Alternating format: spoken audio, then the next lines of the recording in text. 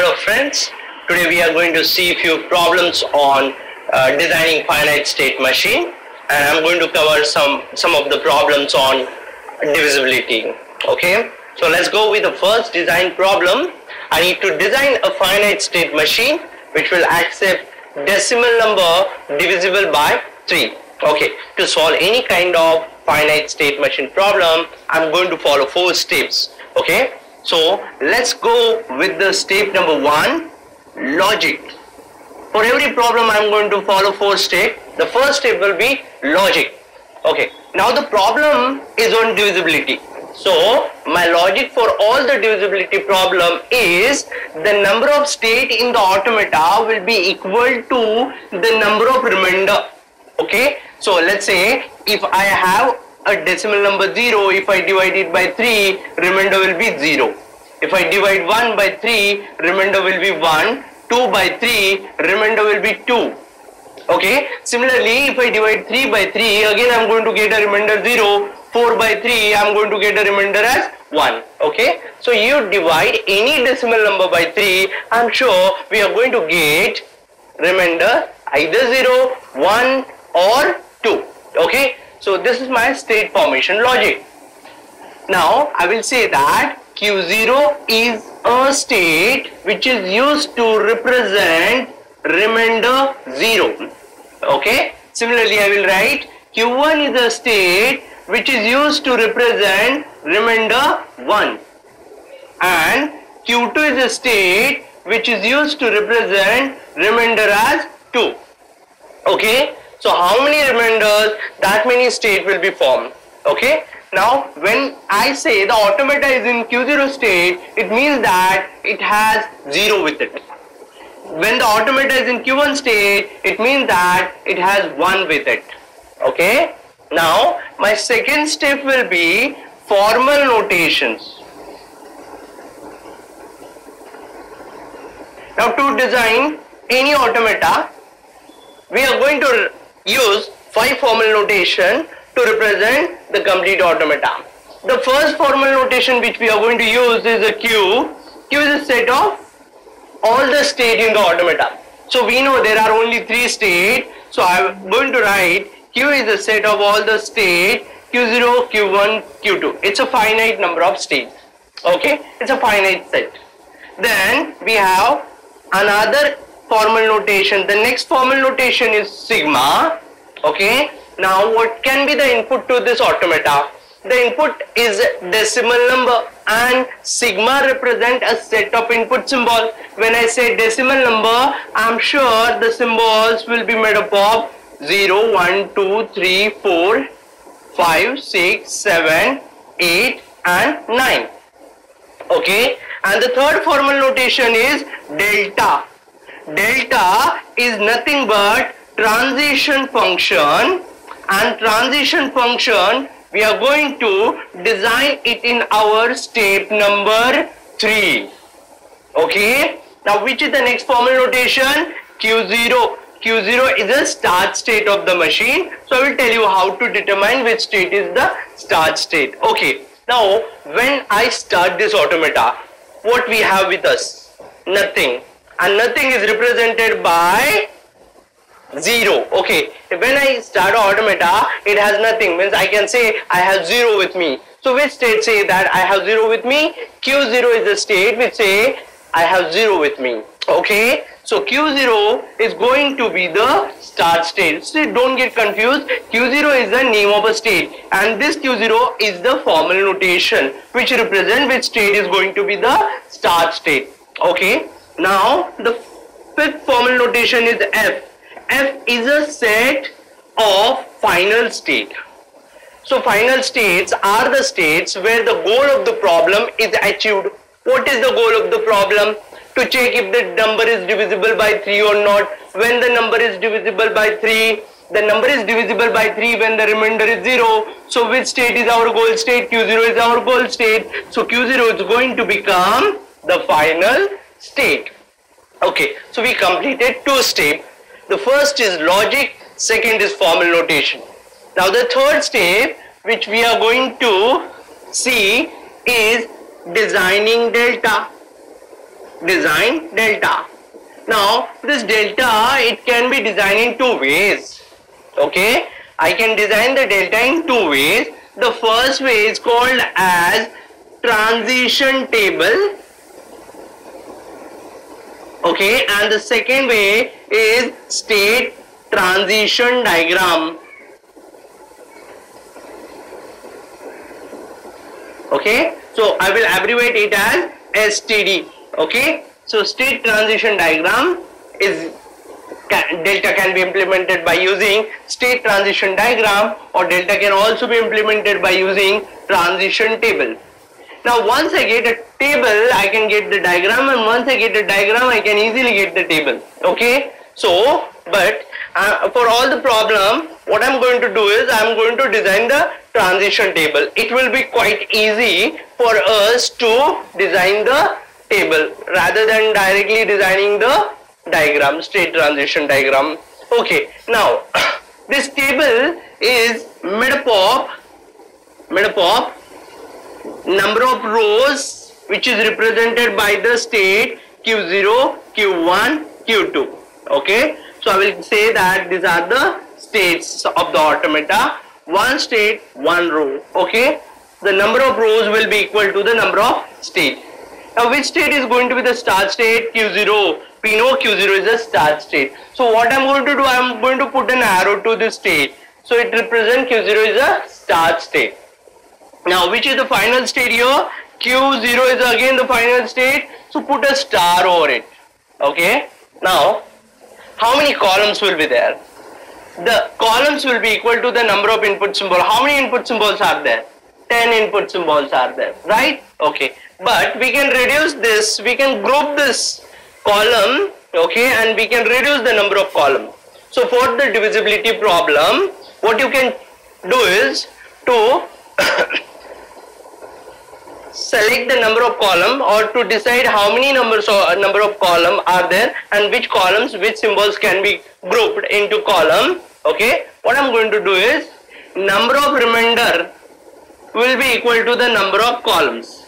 So how many columns will be there now? Three columns will be there okay? So i will say this column is for all the number which represent remainder 0 this is for remainder 1 this is for remainder 2 okay so this q0 uh, remainder 0 can also be represented by 3n remainder 1 3n plus 1 remainder 2 3n plus 2 okay now so uh, give any value of n you will get all the number which are which has the remainder 0. So it can be represented by 3n. Let's say n is 2. 3 into 2, 6. 6 is a uh, 6 has a remainder 0. Okay. So which all symbols from sigma are having remainder 0, 0, 3, 6 and 9. Which are the symbols from sigma has remainder 1. So it will be 1, 4, 7. And remainder two numbers will be 2, 5 and 8. Okay. Now I need to fill up this entire table. How to do that? Okay. Now Q0 represent what we have. We have 0 with us. Q1 represent we have 1 with us. Q2 represent we have 2 with us. Okay. Now what I need to do is I need to get the state. Okay. I, I need to get what will which state will come here okay you are in state q0 what do you have with you you have 0 with you okay pick up any number from this set let's say 9 okay divide it by 3 what is the remainder? Remainder is 0 now remainder 0 is represented by q0 so i'm going to write q0 here. Okay? Similarly we'll fill up the another entry in this table. So you are in state q0 i have 0 with me. Take any number from here. Let's say 7 divide by 3 remainder will be 1 remainder 1 is represented by q1 okay? Now what is the next entry? See here you are in state q0 i have 0 with me. Pick up any number from here. Let's say 5 divide by 3 remainder will be 2 remainder 2 is represented by q2 okay? Clear? Yeah. Now you are in which state? Q1 what i have with me is 1 pick up any number from here. Let's say 0 10 divided by 3 remainder is 1 see this is symbols. Okay, we need to concatenate. So I have 1 with me, 0 comes, it becomes 10. So it's like a string concatenation. Divided by 3, remainder will be 1, remainder 1 is represented by Q1. Okay, now you're in which state? Q1. What I have with me? 1. Take any number from here, let's say 7 divided by 3, remainder will be 2. Remainder 2, which state? Q2. Good. Okay, you're in which state? Q1. I have 1 with me. Pick up any number from there. 5 divided by 3, remainder will be 0. Remainder 0 is represented by which state? Q0. Now the last row, come on, let's do it fast. Okay, now you are in which state? Q2, I have 2 with me, then pick up any number, let's say 3, divided by 3, remainder will be 2, remainder 2 is represented by Q2 only. Okay, for all the divisibility problem, you can apply a shortcut here. What is that shortcut? If you get Q0 here, simply increment the state number. So Q0 के बाद Q1, Q1 after Q1, Q2. Okay. Similarly Q1 after Q1 what you will get Q2 after Q2 what you will get Q0. Okay, I can apply that shortcut logic on this the last row. After Q2 I will get Q0 and after Q0 I will get Q1. Okay, if I want to verify, let's verify it how it works. You are in which state Q2? I have 2 with me. Pick up any number from here. Let's say 1 divided by 3. Remainder is 0. Remainder 0 is represented by Q0. You are in state Q2. I have 2 with me. Let's pick up any number from there. Let's say 5 divided by 3. Remainder will be what? 1. Remember 1 is represented by Q1. Okay. Now one more thing. As I told you that if I get a table, I will get a diagram. Okay. Now let's try to draw the diagram. What I will do, I will just erase this part and then we'll draw the state transition diagram. Okay. Now in the state transition diagram, uh, the number of circle will be equal to the number of state. How many states I have? Three. So I will draw three circles here. Okay, I will represent, I will give the name to the state Q0, Q1 and Q2. Okay, which state is the final state? Q0 is the final state. So I will put a double circle to it. Okay, which state is a start state? Q0 is a start state. Put an arrow to it and on this arrow write down start. Okay, now yeah, I have a table. Let's draw the diagram. You are in state Q0. After getting 3n number, I'm going to go to Q0. So on 3n number, any 3n number, I'm going to go to Q0. You are in state Q0, I get 3n plus 1 number, I will go to Q1. So 3n plus 1 number. Q0 on 3n plus 2 number, I will go to Q2. Q1, you are on 0, where you go? Q1, 3n number. Q1 on 3n plus 2, I will go to 3n plus 1 on 3n plus 1 I will go to q2 okay and q1 on 3n plus 2 number I will go back to q0 okay? Now the last one q2 on 3n number it will go to 3 q2 only. Q2 on 3n plus 1 uh, I'm going I'm going to go back to q0 and q2 on 3n plus 2 I'm going to go to q1 back okay.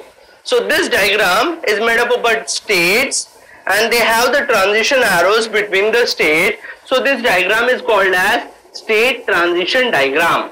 Okay. So we'll abbreviate it by STD as I told you here. Okay. Now my model is ready in front of you. This represents the behavioral model of a machine. How the automata or the behavioral model for this problem will, is represented. Okay, it's in front of you. Now my fourth step will be test the model. Okay, so now we are ready with our model, but we not tested our model. Okay, so we need to test our model whether it's going to work correctly or not. Okay, so for this, I'm going to for, I'm going to have two example. One will be the valid example, and other I will take invalid example.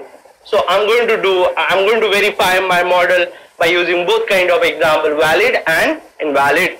Okay. So as you know, automata work on string, and strings are made up of symbol. So here, these are, this look like a numbers, but they are actually symbol for us. Okay.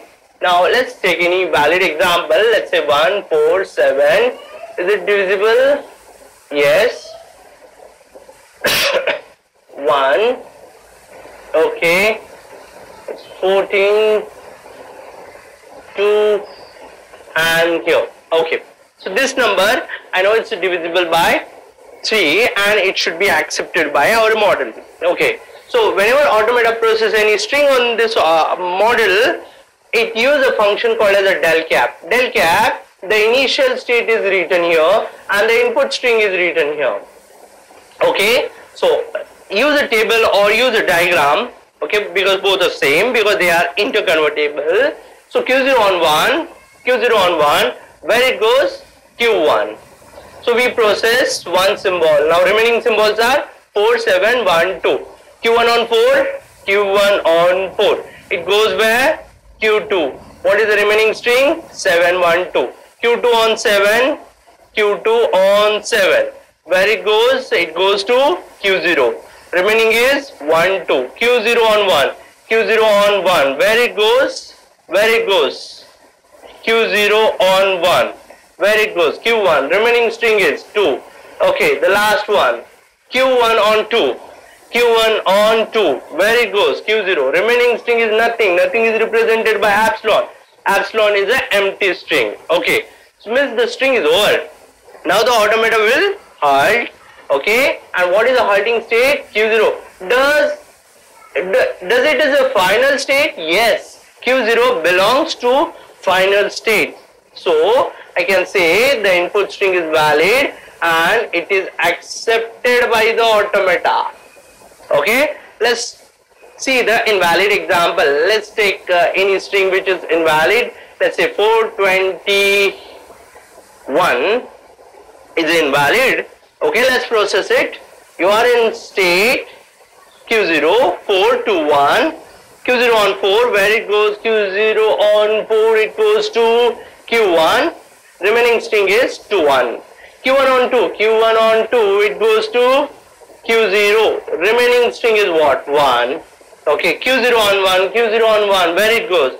It goes to q1 and as I have no input symbol I will write down epsilon there okay now check whether q1 does it belongs to final state no so I will say it's invalid and not accepted so it will be rejected. Okay, this string got rejected. See, I can represent the machine or the model in such a way and I can also verify my model whether it's going to, uh, whether it's correct or not. So that is my first step which is doing the verification of my model. Okay, so we'll cover few more problem on divisibility in my next video if you like this video, please do subscribe to my channel and share this video with your friends. Thank you very much for watching my video. Thanks.